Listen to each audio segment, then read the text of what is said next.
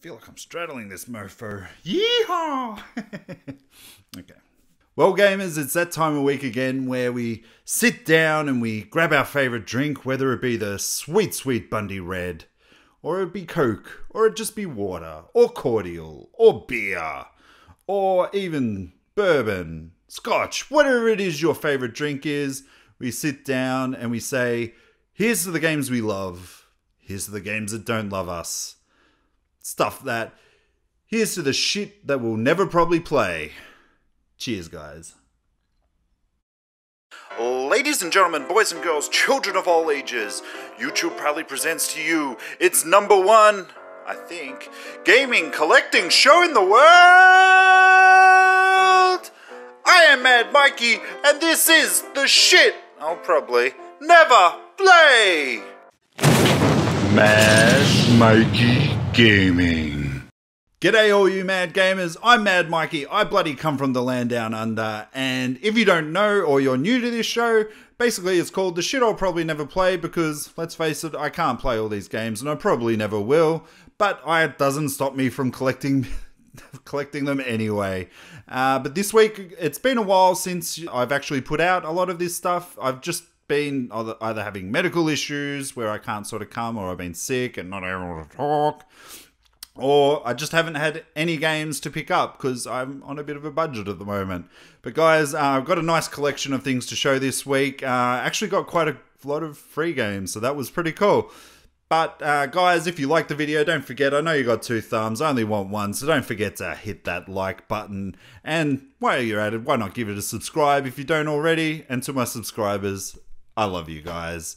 So uh, we'll start off with the free games that I got over the last couple of weeks because uh, it was pretty awesome. So just firstly, a bit of a shout out to the Assassin's Guild of Australia. Uh, I actually met those guys back at PAX last year, where I was actually just walking around and I saw these Assassins guys out on the outside taking photos and everything. I was like, oh, I wonder if they've got a Connor over there because I was cosplaying as Connor, the most under- understood, misunderstood character of the bunch. And I sort of walked up there and I was on the inside, they were on the outside. I was like looking like, oh, they don't have a Connor. And I just sort of put my hand up onto the window. And then just the funniest thing, the whole group of them just came up and they were all touching their hands. And they're like, come on, come on. So I went out, had some photos with them, met the guys. Uh, they were so welcoming. Uh, if you if you don't know who they are, they're, they're basically the official uh, cosplay guild for Ubisoft in Australia. They they do a lot of great stuff. Uh, they're very welcoming, whether you actually make your own cosplay or you buy your own cosplay or you just love Assassin's Creed. They want to talk to you because uh, that's obviously something that everybody and a lot of people have in common. So it's going to be no surprise that the first bunch of games I got, and it is a bit of a shout out to the L Guild leader, Kaz. Uh, he posted a couple of weeks ago that he, he was finished with a couple of the games and they were free to a good home. And I even offered to pay for the postage, but nah, nah, he didn't want any of that. So I was quite fortunate to get quite a few of those games. Firstly, uh, the original Assassin's Creed, the one that started all on the PlayStation 3. Uh, just keep in mind, the, these bunch are all on PS3 because I don't have a lot of them on the PlayStation 3. I've got them on Xbox, uh, PC, everywhere else except for the PlayStation. I do have a couple of them, but not all of them. But this is the game that started it all and spelled the demise of the Prince of Persia series for a while. I'm still not over that, Ubisoft. But uh, in hindsight, 2020 vision Uh, is such a great, great thing. This wasn't the best of the bunch, but I actually really enjoyed it. I put a lot of time into this game. I didn't go around and collect all the flags or anything like that, but I love the I love the concept of this game that it was the hunt. You had to take down all the Templars and everything, and sort of just getting the info. As repetitive as it was, it was still a bunch of fun. It was such a new game, and I had a ball with this game. Uh, funny enough, this was the only one that was actually done in 720p, but let's not hold that against it because it was it is an old game. When was it? Back in 2007. Jeez, it's 10 years. Happy 10 year anniversary, Assassin's Creed 1. You sly dog, you. You're 10, you're in double figures. Woo! And then, then to round it up, uh, there was the Ezio Auditore trilogy of Assassin's Creed 2, uh, Brotherhood, and Revelations. Again, all free. Oh, just I love you, Kaz. I love you, man. And uh, look, Assassin's Creed 2, I still, this is one of my favorite gaming memories. Like, uh, there wasn't actually a midnight launch for it. I don't know why, or it was just the store that I was picking it up from. But uh, they they opened up early uh, for people, so I was up that I was up there at eight o'clock in the morning. Picked it up, got home at nine o'clock, and just started playing through till probably about six or seven that night, like full on non-stop, no food, no drinks, nothing. Just I was engrossed in this game and how awesome it was. The storytelling. Ezio is such a charismatic character. You couldn't help but sort of just fall in love with the character. And um, I only really stopped because uh, Mrs. Mikey came home and, of course, she wanted to eat. Wants to friggin' eat when you're playing Assassin's Creed 2. And uh, then she wanted to do a bit of shopping, so I did the, the only thing that uh, Mr. Mikey could do, and I went out shopping and uh, just helped out the little lady. Uh, but then I got we got home at probably about nine nine o'clock that night because it was a late night shopping, and I then proceeded to play until about three o'clock in the morning. So uh, that was a I had a really awesome day with that, and I didn't even scratch the surface of that game. Uh, just still to this day, one of my favorite games. I've got, as I said, I've got the, all of these on other consoles. I've even got the new one, uh, the Ezio trilogy remastered on the Xbox One. So I really love these games, and obviously these two just sort of rounded up. Uh, Brotherhood was just sort of where Ezio started to take over the assassins and sort of make it his own. Yeah, he ended up sort of taking over, and there was a big twist at the end. But in case of spoilers, we won't say anything about that. And then Revelations just sort of brought a full circle where he's sort of looking back at the assassins and learning about um, Altair, who was the original assassins in the first one. And all in all, really lovely game. This one wasn't really uh, as well received as the other two. Brotherhood 2, I think, is critically acclaimed as being the best of the Assassins, uh, but this one still holds a dear place in my heart. And also being part of uh, the official guild of Australia for the Assassin's Creed, Ubisoft uh, will generally throw out some freebies our way. Uh, they pass them on to Kaz, and look, to his credit, guy, uh, as I said, you will never meet a more nicer guy than this bloke. I've spent a bit of time with him. I actually went to the uh, Assassin's Creed movie premiere with him and a couple of them. We all got dressed up. It was a really awesome night. Uh, but uh, Ubisoft uh, recognizes them as the, the, the, main guild in Australia. And as I said, they throw a couple of things out. So he just sort of put on display all these things, uh, said, guys, uh, this is what they've sent us. Free to give away. Who wants one? And I scored me a Connor. Uh, don't ask me why. I like, I, I think I can say why, but Connor, he's got to be my favorite character. Uh, I, I just, I feel that I have some sort of connection to the bloke. Uh, just the fact that like he comes from nowhere, and but yet he he does what he can for his people. He starts a community, which we're really trying to do here over at Mad Mikeey Gaming, and he he just he does whatever it takes to sort of look after his friends because they are basically his family. Uh, I don't know if you guys can all see, but I do have a plethora of Connor uh, statues over there, and this one's just on the cake. Uh, so thank you, Ubisoft, thank you, Kaz, and thank you, the Assassin's Guild of Australia. And just to round up uh, the last free games that I did get over the last couple of weeks, a friend of mine, uh, Steve, he had the unfortunate thing happen to him. He went overseas with his 3DS, uh, as you do, because you want to play and travel, those sorts of things. And on the way back, he left his uh, Nintendo 3DS in the plane. So he called up, tried to find it, of course, they bloody didn't find it, did they?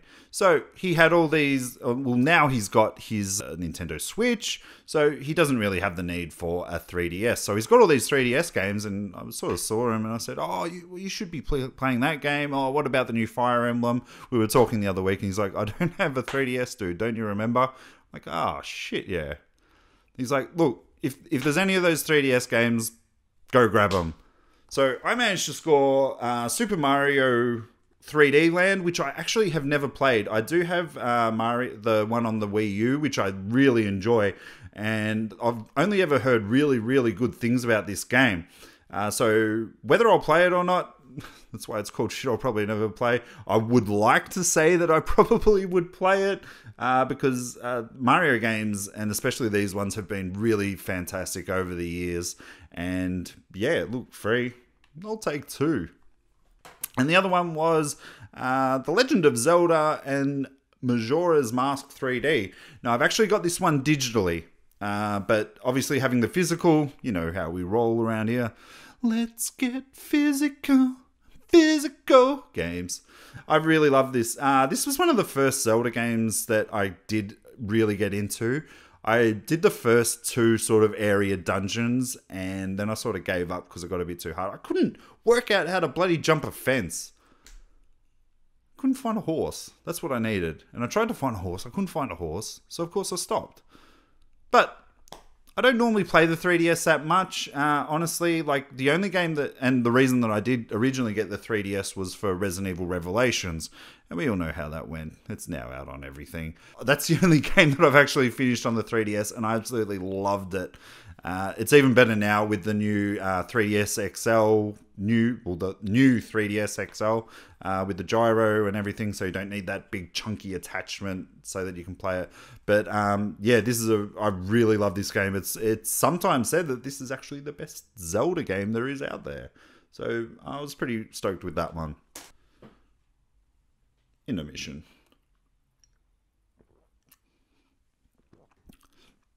Now, on to the games that I actually bought over the last couple of weeks. These two games only came in this week, so they, they just scraped in. Uh, the first one, which I'm actually really wrapped about, because if you know me, if you're a long time watcher or subscriber, you know I love my Dreamcast. And I got Crazy Taxi 2, baby. Uh, I've actually got the first one, and I've admittedly I've never played the second one, so I'm actually pretty wrapped to play this. I've got a, my young apprentice coming over tonight. We're going to play one of the other games, but we won't get to that one just yet uh, tonight. But he, I love getting onto the Dreamcast with this kid. Just, just sort of seeing him see it for the first time and being amazed at actually what the Dreamcast is, especially with the VGA adapter. It makes these games look crisp. It looks amazing. This is actually VGA compatible. Bonus. Uh, but I love the crazy. I used to spend so much money on the Crazy Taxi at the arcades, and uh, when it came out on consoles, that was amazing. I think I've I played three on the Xbox, which uh, to me it wasn't really the same as the first one. Obviously, the first one had the soundtrack uh, to um, of the Offspring, and just starting up the game and hearing yeah yeah yeah yeah yeah and just booting along. Oh, it was amazing. So I've never actually played this one. I'm going to be interested to play this one. Funny story uh, the sticker on the front, which I'm scared to take off, but it's actually saying it's there from Orange. Now, Orange was actually a company that I kind of worked for back in the day. Uh, it was actually a really tough gig that I did. I was actually selling computers and internet packages door to door with little success, mind you, other than the fact that I was buying it for myself. Uh, but on the side, we sort of sold, we're doing mobile phones. Uh, now, if you've never sold anything door to door, you'll know that that is a rough gig. And the fact that I actually sold any of those computer systems at all was a minor miracle. Uh, so I'm. You guys know I don't really like keeping stickers on there, but like that's got a bit of sentimental. Mm, not really. I hated that job. It's coming off. And the next game that came out was the Haunting Grounds on the PlayStation 2. Now, I've heard a lot of really good things about this, that this is actually a bit of a diamond in the rough. Uh, so, it's a survival horror game by Capcom, and you actually take the role of a woman and her dog. Uh, so I actually really haven't seen that much about it, but I have seen on some YouTube channels that this is actually pretty good. So I thought I picked it up for I think it was about twenty dollars. Uh, guy on a Facebook group was doing a bit of a discount, and that was there. And I was like, "Hold up, can you hold on to that till payday?" And he, I've bought off him before, so he was more than accommodating. So I'm actually quite tempted to play this game. Very tempted, actually. And with the newer games uh, that I picked up, uh, picked up Lego City Undercover on the Nintendo Switch because you know you buy a console, you want games to play on it. Uh, the load times are terrible still, uh, but it's still actually a really fun game. I, I, I love this is one of the only Lego games that I've really gotten into. Uh, never really got into much of the superhero ones or the Star Wars. Like I did play them, but not to the extent of like 100%ing them or getting all the bricks and everything. But this one's really cool. It's a standalone story. Uh, it's actually the first game that they brought out to have their own story. I did lick it, and it does still taste disgusting. So word of the wise out there, guys, I don't think that bad taste is going anywhere. But this is a really cool game, uh, really fun, uh, funny game, and I do recommend it if you've got a Switch and you're looking for something new to play, even though Mario Kart's coming out today and I can't afford it. Maybe next week. And the last game of the week the Outlast Trilogy Collect Trinity trilogy. Well, it's a trilogy, yeah. Was very concerned that this actually wasn't going to be coming out in Australia because of uh, certain sexual scenes that uh, Australians don't do. Yeah, that's right. Apparently, we're put off by sex in this country. I've got Outlast and I've got Outlast Whistleblower over on the Xbox. Uh, I got them with the free games with gold and everything like that. Uh, so I was actually quite stoked that they did bring out this Trinity one, and and for the fact that uh, the Xbox One actually got delayed, so it's not coming out until next week, which is really weird. Uh, now I'm scared shitless of these games. like I've tried playing the first one, and I was sitting there, and Miss, like Mrs. Mikey will only really watch me play these horror games, and it's so funny because I'll be like shooting myself, and she'll be like, "Michael, stop it!" It's actually quite funny. Oh, I wish he was going to be here tonight. But tonight uh, I'm going to be streaming this, so I'm actually going to be playing it over on Twitch. So the link is down below uh, twitch.tv forward slash mad Mikeey. That's M I K E E Y. Uh, I'll be posting over on my socials when I'm about to go live. Uh, my friend will be here, so we'll both be going in fresh to this new one. Uh, so it should be a lot of fun. So, guys, uh, if after you've watched this, you you do feel the need to see a grown man shit his pants, come by and say hi. But that's it for this week, guys. Um, I don't foresee there being a new episode for another couple of weeks. Uh, as I said at the beginning, I'm on a bit of a budget at the moment. Uh, there's just more important things. Um, but if I do find cheap games, obviously I do get them. Uh, I'll try and hope God that there's some Mario Karts left next week when it comes to payday.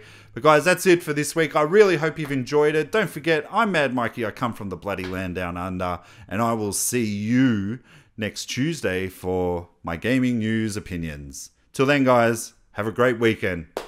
And let me know what you're playing this weekend, because I am interested. And we'll straddle it again. Oh, I've got a bit of room.